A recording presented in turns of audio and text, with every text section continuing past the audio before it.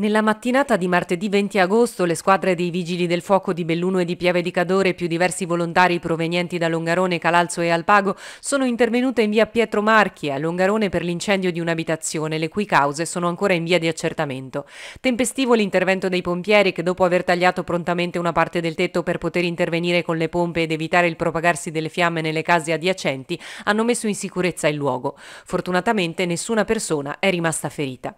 Avvisati dal figlio che al momento momento dell'incidente si trovava in casa, sul posto sono subito sopraggiunti i proprietari dell'abitazione che in quel momento si trovavano fuori città. Per Vittore Zannol, proprietario dell'appartamento, è il secondo episodio in cui si vede privato di una casa. La precedente, infatti, era andata distrutta durante la tragedia del Vaillant. È successo che la nostra casa è andata, è andata a fuoco.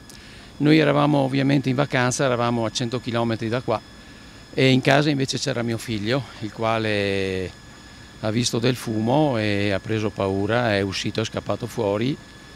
E non prima di aver chiamato il 100, 115, mi sembra, sì, 115 e naturalmente ha chiamato noi dicendo guardate che qui sta andando a fuoco e quindi disperato naturalmente e noi le assicuro che se mi fosse caduta una montagna in testa l'avrei sopportata forse meglio, anche perché è la seconda volta che perdo la casa, una volta col Vaillant che mi sono salvato e stavolta anche col fuoco, quindi proprio non ci facciamo mancare niente. La causa non la conosciamo, probabilmente un cortocircuito perché mio figlio fuma però non ha mai fumato in casa, né, né ora né mai, proprio mai.